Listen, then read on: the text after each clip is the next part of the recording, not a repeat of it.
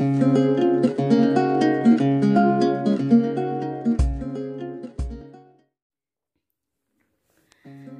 everyone welcome to Shivi's classes और आज के वीडियो में हम देखेंगे इंग्लिश की वर्कशीट जिसमें मैंने डिस्क्राइबिंग वर्ड्स यानी एडजेक्टिव के से रिलेटेड कुछ क्वेश्चंस दिए हैं।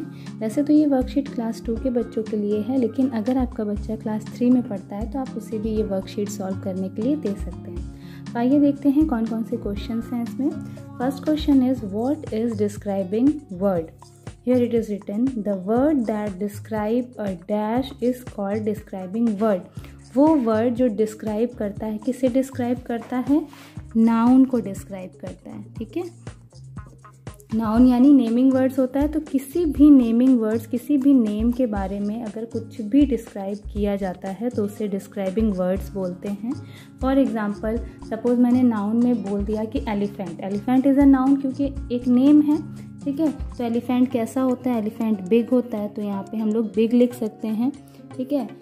सपोज़ मैंने बोल दिया एंड एंड क्या होती है? चीटी। चीटी कैसी होती है? स्मॉल होती है तो यहाँ पे हम लोग स्मॉल लिख सकते हैं। तो कोई भी एग्ज़ाम्पल में आपका बच्चा कोई भी एग्ज़ाम्पल लिख सकता है डिस्क्राइबिंग वर्ड से रिलेटेड तो आप उसे चेक कर सकते हैं। तो बिग हो सकता है स्मॉल हो सकता है फैट हो सकता है येलो हो सकता है ग्रीन हो सकता है। डिस्क्राइबिंग वर्ड्स मीन्स कि कुछ भी, जिस, किसी भी चीज़ को डिस्क्राइब करना, किसी भी चीज़ के बारे में बताने से, बताने के लिए जो वर्ड हम यूज़ करते हैं, वो डिस्क्राइबिंग वर्ड होते हैं। Next question is filling the blanks with suitable describing words अब यहाँ पे फिलिंग द ब्लैंक्स है, इसके लिए मैंने यहाँ पे हेल्प बॉक्स दिया हुआ है। Big happy hot round strong black first is given the tomato has a dash shape tomato का शेप कैसा होता है? राउंड होता है। तो यहाँ पे फ़र्स्ट में लिखेंगे R O U N D round next the elephant is very dash animal the elephant is very big animal यहाँ पे लिखेंगे big. Next Rohan is a dash boy Rohan कैसा बॉय है? Strong Rohan is a strong boy next I am very dash to see you I am very happy I am very happy to see you next Ravi's shoes are dash Ravi's के shoes कैसे हैं? रवि के shoes black हैं। B L A C K black the tea is very hot So, this is next question.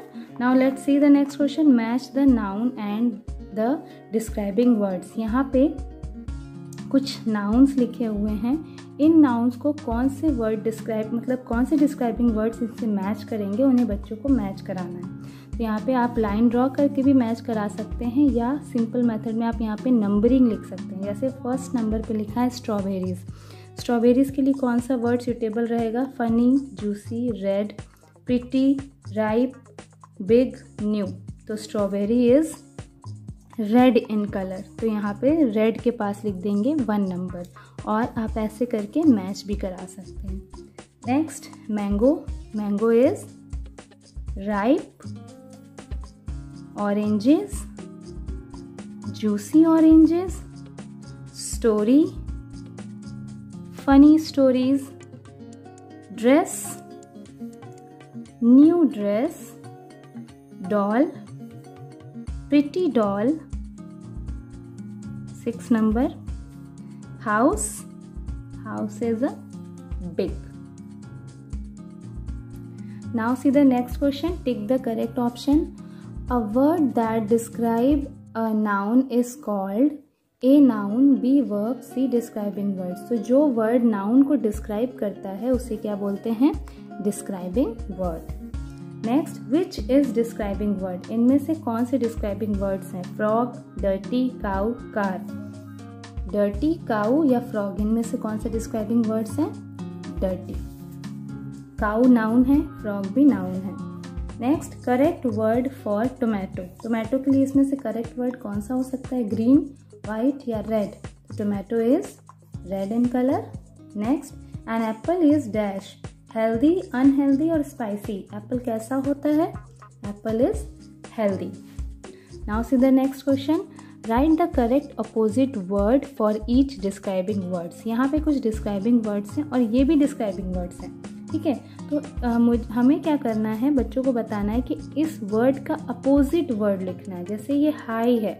High का opposite इसमें से search करना है, बच्चों को फाइंड आउट करना है तो हाई का अपोजिट हो जाएगा लो तो यहाँ पे लिखेंगे लो fat opposite of fat is thin fat भी डिस्क्राइबिंग वर्ड है और थिन भी डिस्क्राइबिंग वर्ड है। नेक्स्ट क्लीन क्लीन का क्या हो जाएगा? Dirty Next, big, bigger, small, up, down, slow, fast, ugly, beautiful, full, empty, dark, L-I-G-S-T, light. Dark का लाइट भी हो सकता है बिकॉज़ यहाँ पे हेल्प बॉक्स में लाइट दिया है, इसलिए यहाँ बच्चे लाइट लिखेंगे। और डार्क का ब्राइट भी हो सकता है B R I G H T bright now see the next question read these sentences now write the describing words and the naming words they describe in sentences में describing word लिखना है और वो describing word किस naming word यानी किस noun के लिए यूज़ किया गया है, वो नाउन यहाँ लिखना है।